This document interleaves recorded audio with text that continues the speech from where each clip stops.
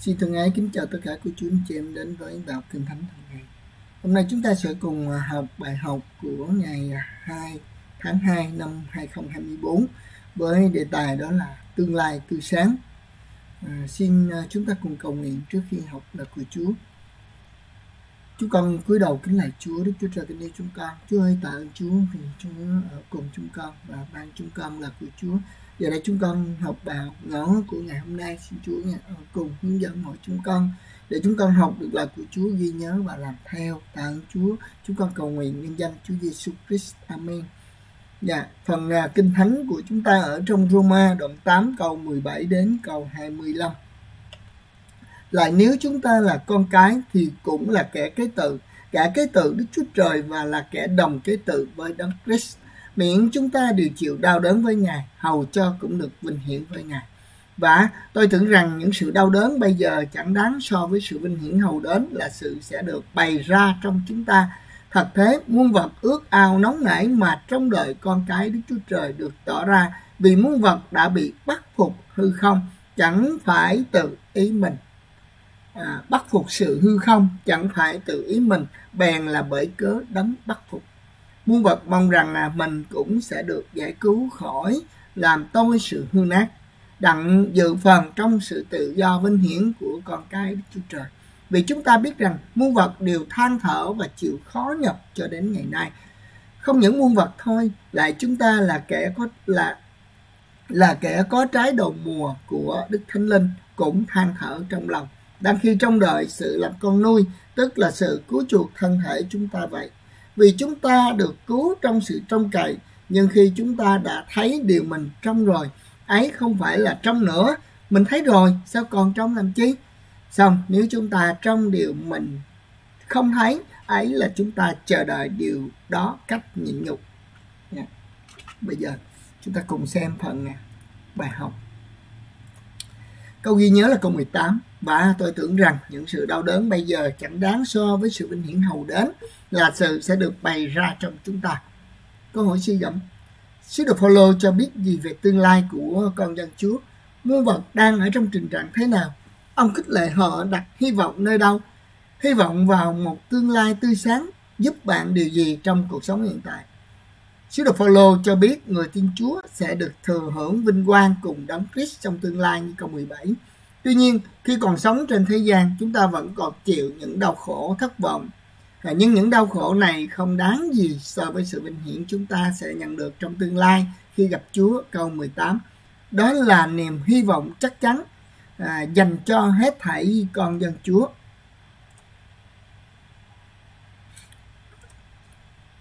Ông cũng cho biết ngay cả muôn vật cũng đang ở trong tình trạng rên xiết trong tội lỗi à, bị lệ thuộc sự hư không như câu 19 câu 20 cả thế giới phải gánh chịu hậu quả của tội lỗi từ tổ phụ Adam như sáng thế ký đoạn 3 câu 17 câu 18 câu tôi nhất đoạn 15 câu 27 chính muôn vật đang trong mong ngày con dân Chúa được hưởng vinh quang để chúng cũng được chung hưởng sự tự do thoát khỏi thân phận nô lệ cho sự hư nát câu 21 tất cả đang hy vọng vào một ngày Đức Chúa Trời sẽ khôi phục lại tình trạng tốt đẹp như ban đầu. Sáng thế ký đoạn 1 câu 25 và câu 31 Hiện nay những người tin Chúa dù có Đức Thánh Linh ngự cùng vẫn còn than thở trong lòng, đang khi chờ đợi chính thức được thừa hưởng đặc quyền con nuôi là sự cứu chuộc khỏi thân thể hay hư nát này. Con bà. Khi Chúa Giêsu trở lại, tất cả con dân Chúa được Thánh Linh ấn chứng sẽ được mặc lấy thân thể mới, không còn chịu đau đớn à, của thân thể tạm này nữa. Đó là niềm hy vọng tươi sáng cho tương lai của cơ đốc nhân. Chính hy vọng vào tương lai à, vinh hiển sẽ giúp chúng ta nhận năng lực để vượt qua những thách thức khi gặp khó khăn và ngã lọc cuối cùng sư đồ Phaolô khuyên con nhân Chúa phải kiên nhẫn chờ đợi một tương lai tươi sáng câu 25 dù hiện nay chúng ta có chịu khổ thì cũng chỉ trong một thời gian ngắn còn vinh quang Chúa dành cho chúng ta là đời đời không bao giờ kết thúc. Chúa Giêsu dùng hình ảnh của sản phụ để mô tả niềm hy vọng và tương lai tươi sáng. Người phụ nữ lúc sinh nở thì đau đớn vì đã đến giờ của mình nhưng khi đứa trẻ chào đời thì người ấy không còn nhớ đến sự đau đớn nữa. Văn đoạn 16 câu 21 Trên hành trình theo Chúa, lắm lúc chúng ta phải đối diện với nhiều đau khổ, à, dễ dẫn đến nản lòng. Nhưng khi nghĩ đến những nỗi khó nhọc chúng ta phải chịu thật quá nhỏ so với vinh quang phước hạnh sẽ hưởng. à, giúp chúng ta thêm vững tinh thần để à, tiến bước với Chúa. Hãy hy vọng vào một tương lai tươi sáng đang chờ chúng ta. Bạn có lương hướng về tương lai tươi sáng Chúa dành cho bạn không? Đó là câu gợi ý của bài học. Nha. Yeah. À, nói đến bài học hôm nay thì lại nhớ đến à, câu kinh thánh và đức tin là sự biết chắc vững vàng của những điều mình trong mong là bằng cớ của những điều mình chẳng xem thấy à, chúng ta ngày hôm nay thường à, nói rằng có đức tin tôi có đức tin à, chúng ta có đức tin nhưng mà chúng ta dường như không có biết chắc vào tương lai của mình. Có khi như vậy, cô chú chị. Bởi vì nếu mà như vậy thì chúng ta sẽ không thở than, chúng ta sẽ không có à, gọi là không đồng ý với hiện tại. Nhiều người cứ phàn nàn không đồng ý với hiện tại bởi vì mình không biết rằng ở trong tương lai, mình không, mình biết nhưng mà mình lại không có tin. Mình không có nghĩ đến cái sự vinh quang của chúng ta cùng với đấng Christ trong tương lai như câu 17 xin Chúa giúp cho chúng ta. À, để rồi chúng ta có những người nói rằng phải à, ước gì Chúa trở lại liền bây giờ để à, tôi được vào thiên đàng ở với Chúa. À, nhưng mà chúng ta thật ra nếu nếu như chúng ta ý thức được và biết được chúng ta đang ở trong Chúa và chúng ta đang sống ở trên đất này như là chúng ta được sống ở trong vương quốc của Đấng Christ mặc dù còn ở trên đất này, nhưng mà chúng ta đang ở trong sự phước hạnh Chúa ban cho. Điều này khó và của Chúa anh cho nên Chúa mới dạy chúng ta là gì? Tin kính cùng với thỏa lòng là là lợi lớn. Vì khi chúng ta trung tín, chúng ta tin kính Chúa, chúng ta sống theo lời của Chúa. Rồi Chúa ban phước cho chúng ta ở trong một phương diện nào đó, ở trong một chừng mực nào đó, chúng ta vẫn thấy thỏa lòng. Thì chúng ta nhận được phước hạnh vì có chúng ta thỏa vui không phàn nàn, không cằn nhằn. Như là dân sự của Chúa đi ở trong đồng vắng, chúng ta thấy họ không có thỏa vui. Khi mà họ ăn được ăn mana, họ cũng không thỏa vui. Họ được sự che chở của Chúa, bởi trụ may trụ lửa, họ cũng thỏa vui vì họ không thấy phước hạnh. Rồi được Chúa làm ờ, đấng chăn dắt, làm chủ, họ không chịu, họ lại đòi có vua. Chúa nói, các ngươi có vua là các ngươi sẽ rất là uh, khó khăn uh, bởi vì vua đó sẽ cai trị các ngươi làm các ngươi đau khổ. Ở đây được chấp nhận hết nhiều khi chúng ta đang sống ở trong phước hạnh Chúa ban cho mà mình không thấy. Chính bản thân là lại tin rằng chính cô chú anh chị em chưa đạt được đến cái điều đó. Bởi vì chúng ta vẫn còn thấy sao thế này sao thế kia phải không cô chú anh chị em có đó. Sao con phải làm lụng vất vả vậy? Sao con còn phải bệnh tật vậy? Sao con còn phải gặp năng đề này, gặp năng đề kia vậy? Có một người nói vui rằng, tao ước rằng tôi sẽ được vào ở với Chúa. Vui lắm, tôi được vào ở với Chúa. Chúa nói vậy hôm nay đi ha. Hôm nay ta sẽ đem con về với ta. Rồi con văn Chúa ơi, con còn muốn ở đất này, bởi vì con chưa xong cái này cái kia thật ra là gì? Thật ra là vẫn còn sợ chết.